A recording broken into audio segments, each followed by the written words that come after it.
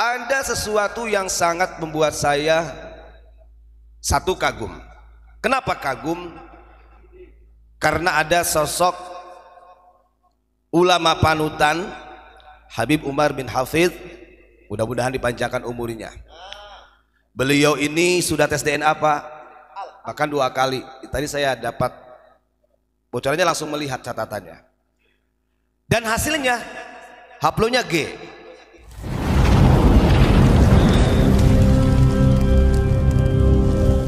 Assalamualaikum warahmatullahi wabarakatuh. Hamdan syukuranillah nahmaduhu wa nasta'inuhu wa nastaghfiruh wa na'udzu billahi min syururi anfusina wa min sayyiati a'malina. May yahdihillahu fala mudhillalah wa may yudhilhu fala hadiyalah Allahumma salli ala sayidina Muhammad wa ala alihi wa ashabihi wa dhurriyyatihi laisal habib. Amma ba'd. Hadratil kiram para alim para ulama sesepuh bini sepuh wabil khusus murabbi ruhina Abu Yama wa Al-Bantani beserta keluarga dan para hadirin para jamaah yang masih setia.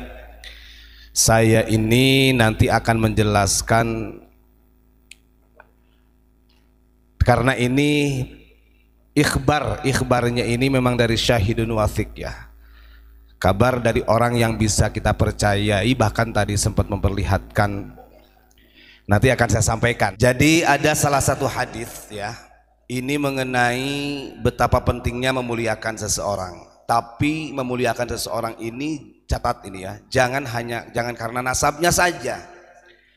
Jadi di dalam hadis Hasan itu disampaikan begini, "Idza atakum karimun karimu qaumin faakrimuhu." Yang artinya apabila datang kepadamu orang yang mulia dari suatu kaum, maka muliakanlah dia. Kemuliaan seseorang ini kalau kita kembali kepada flashback ayat Al-Qur'an itu tetap inna akramakum indallahi atqakum diukur dari ketakwaannya. Ya. Ketika ada orang yang memuliakan kelompok-kelompok dengan berlebihan dan catat kalau bukan karena ketakwaannya ini akan berbahaya. Saya barusan dapat cerita dan langsung ditunjukin. Ngapunten ini ya bukan bukan apa-apa. Ini perlu saya sampaikan.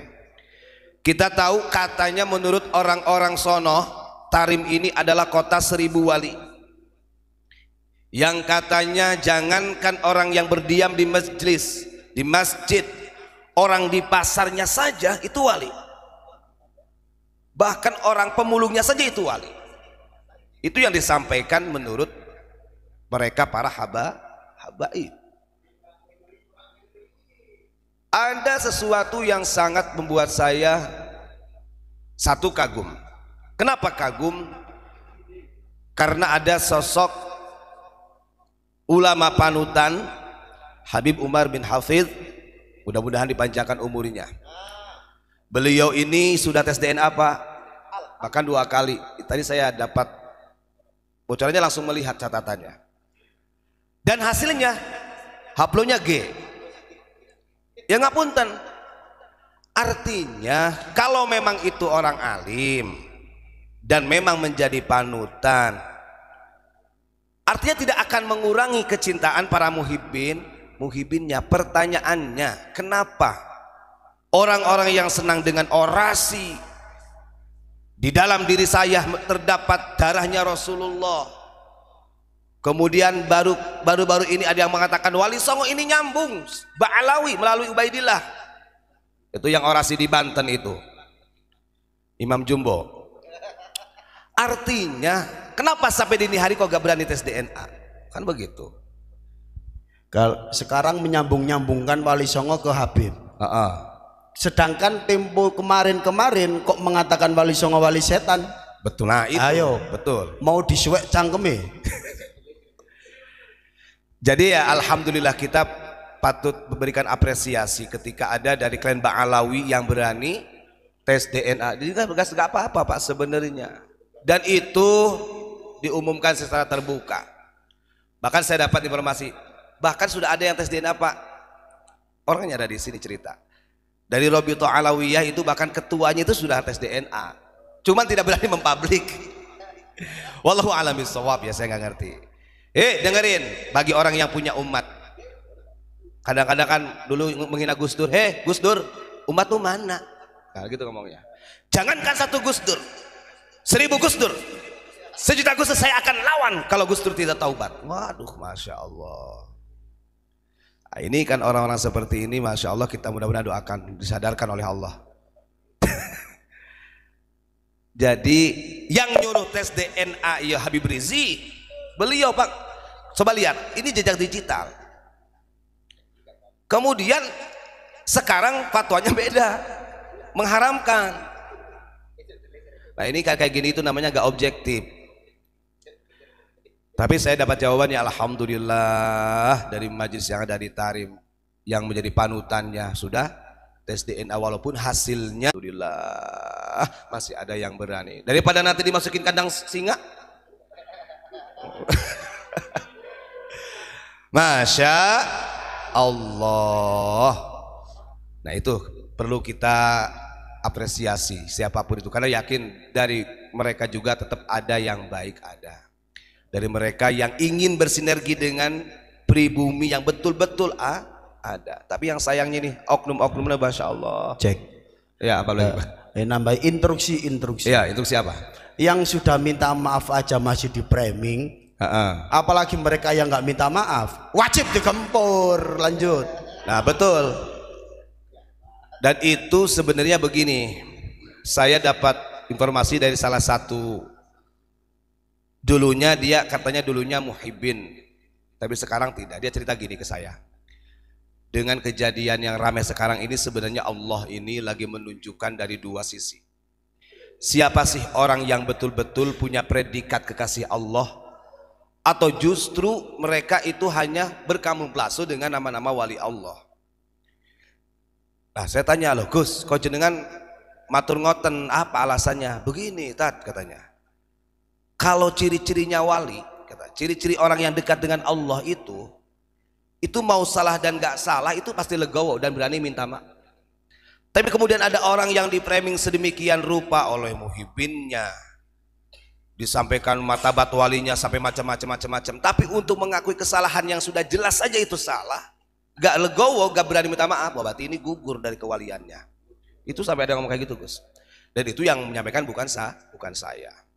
Ingat ya, jadi apa pun itu hasilnya dari tes DNA yang dilakukan oleh mereka para habaib diterima, jangan muringmu muring. Salah sopo. Satu lagi tadi. Ya, monggo. Instruksi-instruksi. Ya kan begini kalau memang orang ini kepingin mencocokkan data harusnya kan beda data. Gitu loh. Lah ini kok malah baik perang? Bedawir itu gimana? Nah itu sangat itu ditolak oleh nakib ya. Nah barusan saya dapat informasi gini. Barusan saya ngobrol. Jadi ternyata nakobah ini kita ngobrol santai pak. Nakobah atau nakib yang ada di seluruh dunia itu untuk memverifikasi data pak. Bahkan saya ditunjukin syahadahnya itu dari Nakobah Al-Hashimi itu Al-Idrisi Al-Hashimi ini. Jadi setelah dia memverifikasi datanya itu memang harus ada tes DNA apa dan itu berlaku di nakobah-nakobah yang lain. Saya sampai ditunjukin oh begini ya bentuknya dari nakobah Yordania seperti ini dari Irak seperti ini dari Turki seperti ini. Kan gitu. Ya gak ngerti kalau dari Robi Talawi ya gak ngerti kalau saya gak paham itu ya karena ini yang bicara itu adalah orang yang memang dia punya sertifikat, Pak. Punya syahadah dan diakui oleh nakobah seluruh dunia.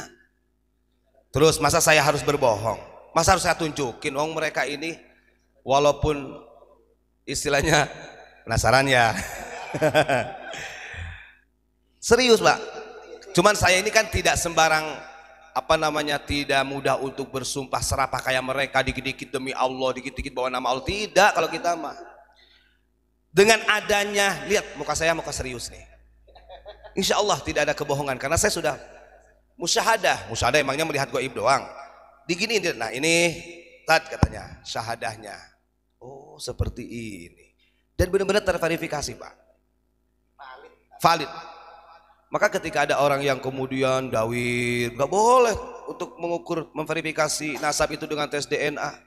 Ya gak mungkin ada ceritanya Zainab Al-Kadzabah atau Pak kalau begitu. Zainab Al-Kadzabah kenapa? Karena dulu belum ada tes DNA ya akhirnya masukin ke kandang nggak untung nggak diterkam karena dia artinya gini yang logis saja gitu kan ini cerita ya saya tidak apa namanya karena ya barusan gitu alhamdulillah semenit dua menit lima menit sebelum menit saya dapat cerita yang masya Allah kalau bagi saya ini adalah jawaban. Dan dia mengatakan begini. Menurut dari nakib-nakib ini mengatakan begini ketika di tes DNA anti kata dari marga apa gitu satu orang saja hasilnya kemudian dipublish anti kata hasilnya G gitu itu sudah mewakili keseluruhan tanpa harus satu persatu di tes DNA artinya yang di lingkaran marga tersebut sudah pasti gitu secara genetika begitu. Ya kita kan bukan ahli genetika. Yaitu tadi. Saya hanya menghimbau kepada para hadirin para muhibbin kita untuk memuliakan seseorang ini ya harus betul-betul dinilai dari kealimannya ketakwaannya. Bukan karena kemudian oh saya akan melihat kealimannya. Bohong. Nyatanya masih rasis artinya begini ketika orang ini tidak rasis ketika ada yang mengkritik bahwa itu salah dia tidak akan muring-muring paling mencari mengkantar dengan keilmu keilmuan gitu bukan kemudian wah ini oh pembegal nasab logikanya begini kalau pembegal nasab mungkin saya sudah ngaku cucunya nabi dari dulu Uang kita nggak ada kepentingan. Yang jelas, yang hak harus dikatakan hak, yang batil harus dikatakan batil. Tasbih subhanallah. Terima kasih. Assalamualaikum warahmatullahi wabarakatuh.